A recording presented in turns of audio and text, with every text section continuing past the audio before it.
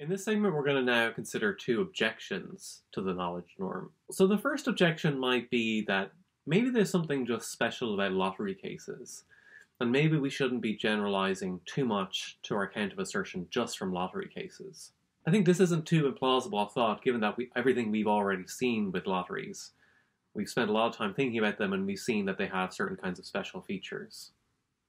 So you might wonder about the wisdom of basing the argument for the knowledge norm exclusively on lottery cases. Williamson's reply here is that in a certain kind of way, you can extend the argument to apply to other kinds of subject matters. So you can run this lottery argument that knowledge is the norm of assertion, even for other subject matters that aren't explicitly about lotteries. And the way to do it is just to sort of correlate in some way, set up the case so that the truth of a certain claim that you're interested in uh, is connected to whether a certain ticket is going to win or lose the lottery. So Williamson gives a kind of abstract argument here. I'm going to give you a specific case to fill in the details, but you'll see, I think, basically the idea of how the argument is supposed to work. So again, let's suppose that we're in a lottery situation. You all have bought tickets in the lottery. Again, we can suppose there's a thousand tickets or a million tickets, however you want. Let's also imagine that the, the lottery has also happened and I know the results. So that's one set of facts. Let's also assume that you're interested in the answer to a particular question. Let's imagine you want to know whether your friend Arthur has been spreading rumors about you. Um, now, I want to tell you the answer, but I'm sworn not to literally tell you the answer. I can't just tell you what's going on. So I devise an alternative system. Uh, what I do is that I write the true answer to the question on every losing ticket, and I write the false answer on the winning ticket. So let's suppose that Arthur hasn't been spreading rumors about you. I've written that on all the losing tickets, and I've written on the winning ticket that he is spreading rumors about you. Okay, so what I've done is I've established a kind of correlation between whether a ticket is a losing ticket or not and the answer to the question. So the true answer to the question is written on the losing tickets. The false answer to the question is written on the winning ticket. And let's suppose that you know all of this. Okay, so you look at your ticket, you turn it over, you see what's written on it. And you see on it is written that Arthur is not spreading rumors about you. So now you have excellent reason to believe that it is indeed true that Arthur isn't spreading rumors on you because you know what the convention I was using was. You know that I wrote something on the ticket, um, or I wrote the truth on the ticket just in case it was a losing ticket.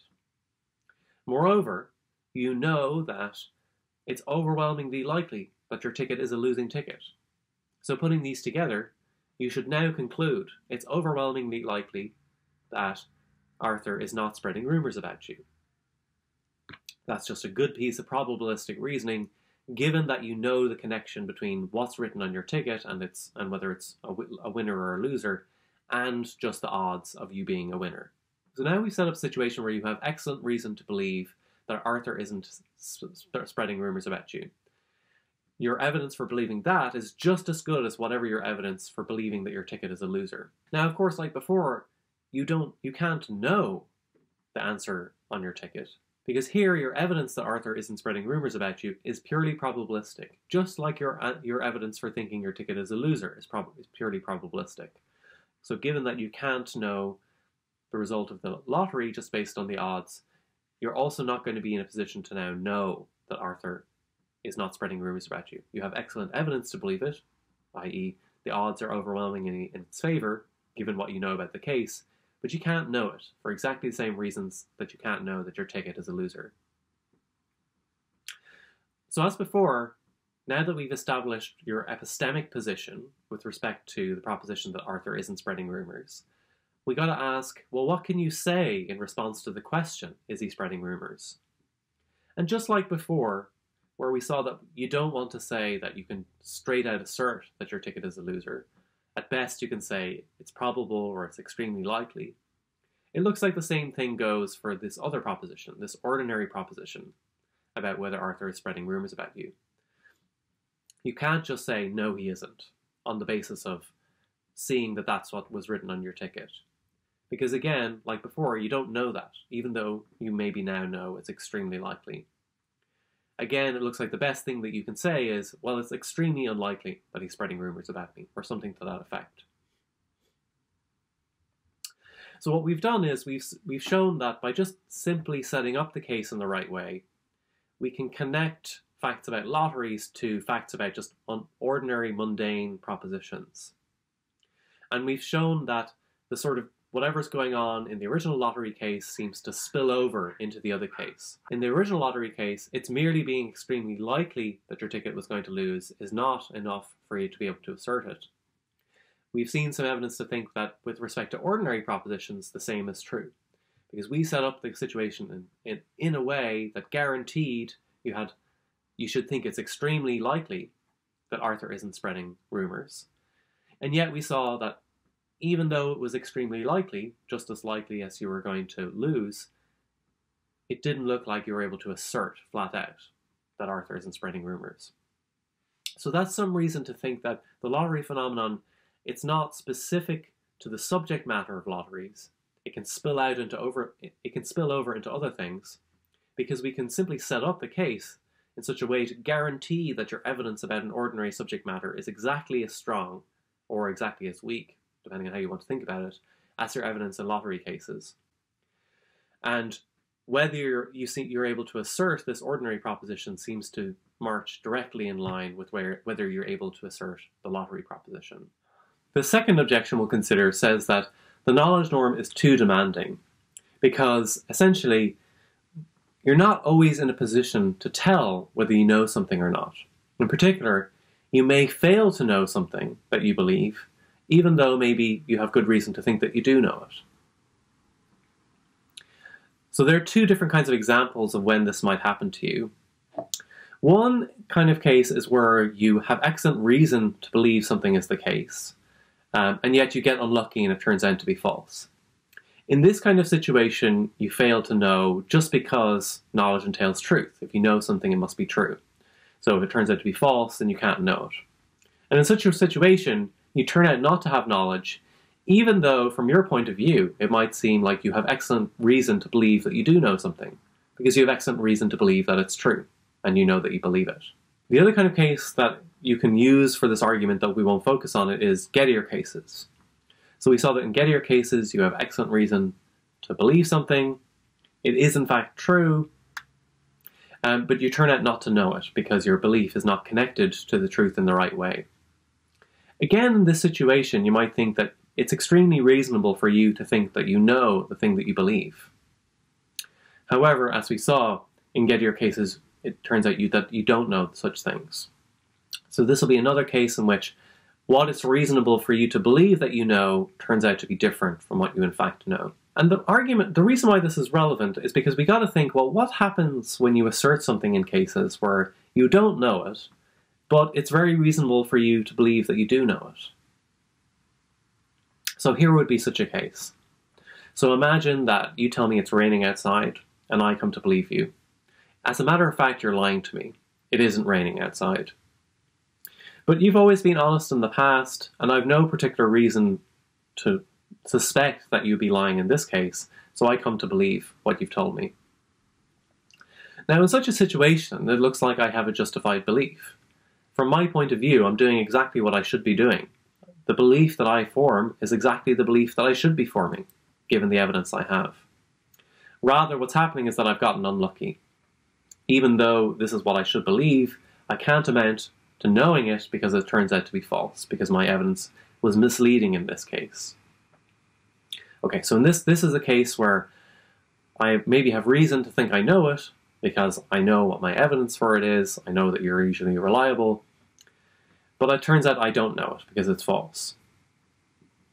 Now imagine I go and tell a bunch of other people that it's raining.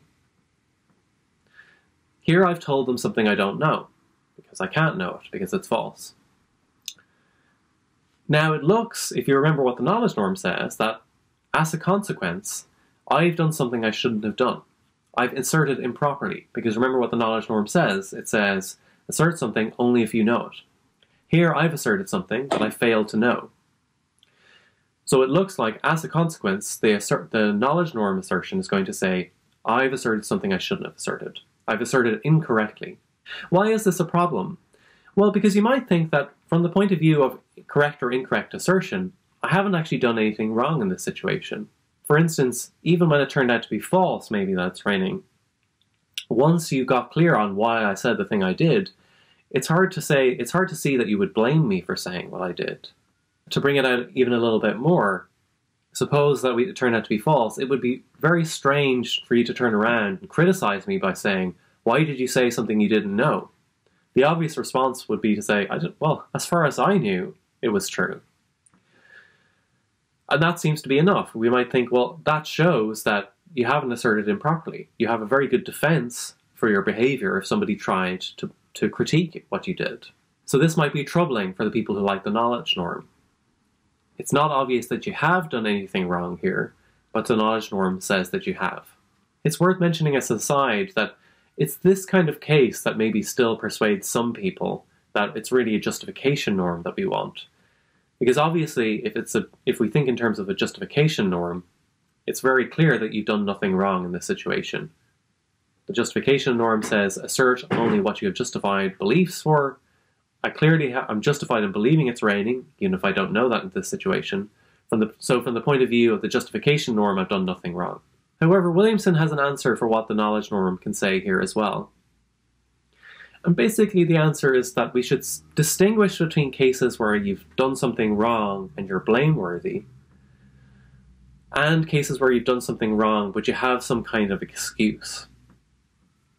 So here's maybe a kind of case to get you in the mind mindset here. So imagine that I'm preparing dinner for you. I put some oil in the pan, or at least what I think is oil, and that the bottle is marked that it's olive oil. But imagine it, it turns out actually to contain poison in it. Now, I don't know that. Let's imagine the poison has been slipped in while I haven't been looking. So, what I've and I've done is I've ended up cooking and serving you a poisoned meal. You might think that in this situation, I've my action is wrong, or I've done something wrong in a case like this. But even if you think that, it's pretty clear that I'm not blameworthy because I didn't know there was poison. In fact, I have no reason to suspect. I every reason not to suspect there was poison. It's pretty unusual for bottles of olive oil to be poisoned. It's not the kind of thing I should expect. It's not the kind of thing that I would be blameworthy for unless I had checked.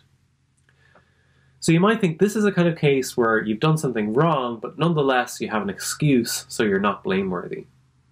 So this would be a case of the second kind we said that would maybe suggest that just because you do something wrong, that it would not immediately follow that you're blameworthy for what you've done. And if such a distinction exists, then Williamson can obviously apply it in the assertion case as well. The idea would be that, well, maybe as strictly speaking, you did do something wrong in asserting that it was raining because you didn't know it. But there are cases and cases. There are cases where you do something wrong and you're blameworthy for it, and you're blame you're blameworthy particular because you see that you were violating the norm when you did it. But there are cases maybe where you're not blameworthy because, from your point of view, it seemed like you were following the norm. And in such cases, you have an excuse. So, what we might say about these cases where you lack knowledge, but it doesn't, it's not obvious to you that you lack knowledge, is that you have an excuse for doing something wrong because it seemed reasonable to you that you were in fact following the norm how plausible you really think this response is is going to come down a lot to how plausible you think the initial distinction is. Do you think it's plausible that there's a difference between cases where you do something wrong and you're blamable and cases where you do something wrong and you're not blamable? One response might be there just is no distinction. You might think in the poison case, you didn't do anything wrong. Um, and you didn't do anything wrong because, for all you knew, you were serving up a normal meal and not a poisoned one. So, how convincing this response is depends a lot on whether you like this distinction, and you might worry that people who like justification norms, not just on assertion but on other things, aren't going to find those other cases any more convincing. They'll probably just say, in the other cases, well, these are also cases where you did nothing wrong, because you were justified in doing what you did, even though it turned out to be bad.